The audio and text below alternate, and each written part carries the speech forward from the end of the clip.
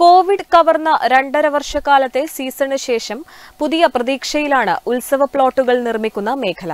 മഹാമാരി കാലത്ത് പലരും ഈ മേഖലയോട് വിട പറഞ്ഞെങ്കിലും പുതിയ സീസൺ ഇവർക്ക് ആശ്വാസം പകരുന്നതാണ്. ക്ഷേത്ര ഉത്സവങ്ങളും ആഘോഷങ്ങളും തിരികെ എത്തുന്നത് ഇവർക്ക് പ്രതീക്ഷ നൽകുന്നു. കോവിഡ് മഹാമാരി സൃഷ്ടിച്ച ഭയപ്പെടുത്തുന്ന ശൂന്യതയിൽ നിന്നും ഉയർത്തെഴുന്നേറ്റ് വരികയാണ് ഓരോ മേഖലയും. കോവിഡിനെ തുടർന്ന് നിലച്ചുപോയ ക്ഷേത്ര ഉത്സവങ്ങളും ആഘോഷങ്ങളും വിവിധ മേഖലയിലെ ആയിരങ്ങളെയാണ് ഗുരുതരമായി ബാധിച്ചത്. അതിലൊന്നാണ് ഉത്സവത്തിനായി പ്ലോട്ടുകൾ നിർമ്മിക്കുന്ന മേഖല. കഴിഞ്ഞ രണ്ട് സീസൺ ഈ രംഗത്തുള്ളവർക്ക് പൂർണമായും നഷ്ടപ്പെട്ടു. ഒരു സീസണിന്റെ പകുതിയും കോവിഡ് കവർന്നു. ആശങ്കകൾ നിറഞ്ഞ കാലമായിരുന്നു അത്. പലരും ഈ മേഖലയിൽ നിന്ന് വിട്ട് പരിചിതമല്ലാത്ത മേഖലയിൽ തൊഴിലെടുക്കാൻ നിർബന്ധിതരായി. ഒടുവിൽ ആശങ്കകൾ വഴിമാറി.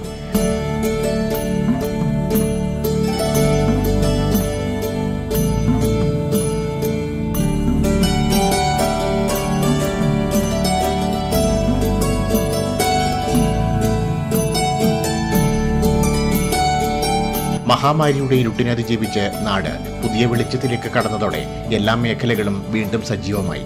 ക്ഷേത്ര ഉത്സവങ്ങളും ആഘോഷങ്ങളും തിരികെ എത്തി തുടങ്ങി. ഇതോടെ ഉത്സവ പ്ലോട്ടുകൾ നിർമ്മിക്കുന്ന മേഖലയും പഴയ ഊർജം കൈവരിക്കുകയാണെന്ന് പ്ലോട്ടുകൾ നിർമ്മിക്കുന്ന എടാട്ടെ ചിത്രാഞ്ജലി ഉടമ കെ ശ്രീനിവാസൻ പറയുന്നു.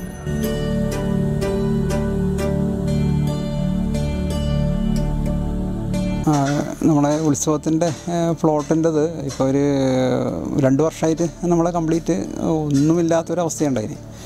ഇപ്പോൾ ഈ ദസറ മുതലാണ് നമുക്ക് ഒരു മൂവ്മെന്റ് ആയത് ദസറക്ക് നമ്മൾ ഉടുപ്പിയിലായിരുന്നു നമ്മൾ വർക്ക് ഉണ്ടായത് ഉടുപ്പി മഹാലക്ഷ്മി ക്ഷേത്രത്തിന് അപ്പോൾ അത് വെച്ച് നോക്കുമ്പോൾ എന്നെ നല്ല രീതിയിലൊരു ഒരു മൂവ്മെന്റ് ഉണ്ടാവുമെന്ന് തോന്നുന്നു.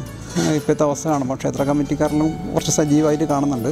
പക്ഷേ നമുക്കുള്ളൊരു പ്രോബ്ലം എന്ന് വെച്ചാൽ നമ്മൾ ആർട്ടിസ്റ്റുകളിലും പല മേഖലയിലേക്ക് നീങ്ങേണ്ടി വന്നു. അപ്പോൾ വീണ്ടും അവർ രണ്ടാമത് തിരിച്ച് നമ്മൾ ഈ മേഖലയിൽ വന്ന് ഒന്ന് റീസ്റ്റാർട്ട് ആവാനുള്ള ഭയങ്കര സാങ്കേതികത്വം നമുക്ക് നിലവിലുണ്ട്. കാലത്തിനനുസരിച്ച് ഈ മേഖലയും ഏറെ മാറിക്കഴിഞ്ഞു. പണ്ട് നിശ്ചല ദൃശ്യങ്ങളായിരുന്നു കൂടുതലെങ്കിലും ഇന്ന് പുതുമകളാണ് എല്ലാവർക്കും ആവശ്യം. സാങ്കേതിക വിദ്യയുടെ വളർച്ച ഈ മേഖലയിലും പ്രതിഫലിച്ചു തുടങ്ങി. ചലിക്കുകയും സംസാരിക്കുകയും ഒക്കെ ചെയ്യുന്ന പ്ലോട്ടുകളാണ് കൂടുതലായും ഇപ്പോൾ. ഇപ്പോൾ എന്താ എന്താ വേറൊരു മുന്നേ പോലെയാണെങ്കിൽ നമുക്ക് അത്ര വലിയ വിഷയമല്ല മുന്നേ എന്ന് പറഞ്ഞാൽ ഒരു സ്റ്റാച്ചു എന്ന് പറഞ്ഞാൽ അത് സ്റ്റിൽ മോഡലായിരിക്കും ഇപ്പോഴത്തെ സ്റ്റാച്ചു എന്ന് പറയുമ്പോൾ കംപ്ലീറ്റ് മൂവ്മെന്റ് ആണ്. മൂവ്മെന്റ് പറഞ്ഞാൽ ചിലപ്പോൾ സംസാരിക്കുന്ന ടൈപ്പ് സാധനങ്ങൾ കൈ മൂവ്മെന്റ് കണ്ണ് തുറക്കുക അടക്കുക സ്റ്റോറി ബേസിൽ അത് പക്ക ലിപ്പിൽ കറക്റ്റായിട്ട് സംസാരിക്കുന്നത് മുന്നേ നമ്മൾ ചെയ്ത ഒരു ചായക്കട അതിന്റെ ഒരു തുടക്കം ഞാൻ അങ്ങനെ ഒരു സംസാരിക്കുന്ന ഫിഗർ ചെയ്ത ഒരു വീടി കമ്പനി ആയിരുന്നു. അതിനുശേഷമാണ് ചായക്കട. പിന്നെ ഞാനത് ക്ഷേത്രശില്പത്തിലേക്ക് അത് കൊണ്ടുവന്നു. ക്ഷേത്രശില്പത്തിലേക്ക് പറഞ്ഞാൽ ഇപ്പോൾ പുരാണങ്ങൾ വ്യാസൻ പറഞ്ഞു കൊടുക്കും ഗണപതി എഴുതും. അങ്ങനെയല്ലേ ശില്പങ്ങളെല്ലാം ആ രീതിയിലേക്ക് കൊണ്ടുവന്നു. അപ്പോൾ അത് വരുമ്പോൾ പറഞ്ഞാൽ അതിന്റെ കംപ്ലീറ്റ് പറഞ്ഞാൽ കം സെൻസറും ഇതെല്ലാമാണ്. അപ്പോൾ ഈ രണ്ട് വർഷം ഇത് ക്ലോസ് ആയതുകൊണ്ട് പറഞ്ഞാൽ രണ്ടാമത് എല്ലാ സാധനങ്ങളും മാറ്റേണ്ടി വരുന്നു. പിന്നെ നമുക്ക് ഏറ്റവും വലിയ പ്രശ്നം എന്ന് വെച്ചാൽ രണ്ട് വർഷം നമ്മൾ ഇത്രയും സ്പേസ് നമ്മൾ റെന്റ് കൊടുത്ത് നിലനിർത്തി ഇത്രയും സാധനങ്ങൾ. അതുകൊണ്ട് വലിയൊരു ഭീകരമായൊരു ബാധ്യതയും വന്നിട്ടുണ്ട്. ആസ്വാദകർക്ക് പുതുമകൾ സമ്മാനിച്ചാൽ മാത്രമേ അത് ബന്ധപ്പെട്ട ക്ഷേത്രം ഭാരവാഹികളെയും തൃപ്തിപ്പെടുത്തൂ. അതിനനുസരിച്ചുള്ള പ്രവർത്തനങ്ങളാണ് ഈ മേഖലയിലെ കലാകാരന്മാർ നടത്തുന്നത്. ദസറ ആഘോഷത്തിന്റെ ഭാഗമായി ഉടുപ്പി മഹാലക്ഷ്മി ക്ഷേത്രത്തിൽ നടന്ന ഉത്സവത്തോടെയാണ് ഇത്തവണത്തെ സീസൺ ആരംഭിച്ചത്.